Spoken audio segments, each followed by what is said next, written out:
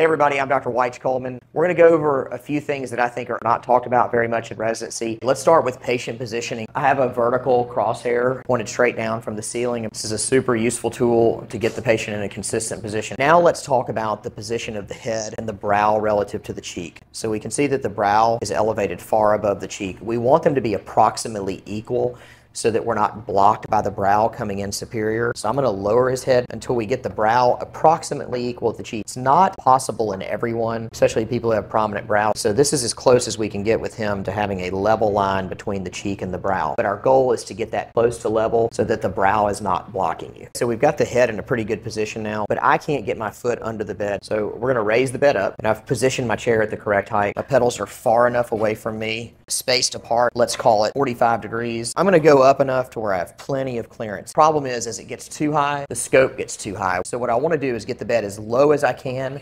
without restricting the movement of my left leg. Now, this is a time where it's important to not have this microscope pedal too close because as you get it close, your knee gets higher. So we want a slight down angle of our leg. So now I'm going to bring the bed down to where it just touches the top of my leg. So it's not restricting my movement. It's just barely touching. I've got him as low as I can get the patient without being restrictive on my left leg. We want to make one more point on the rotation of the bed. Here you can see that the feet are rotated too far in towards me. This is bringing the shoulder in contact with me. It's getting in my way. What I'll do now is I'll rotate the feet away and that frees up some space for me. Now that's not interfering with my arm. I'm approaching from a straight temporal position. If you get a bigger patient, we want to rotate the feet slightly further in to get it out of the way. So if you feel crowded, you want to rotate the feet away from you. So you want to basically be at a temporal approach, but if you feel crowded, you can go a little bit superior to clear their torso out of your way and free up your left arm.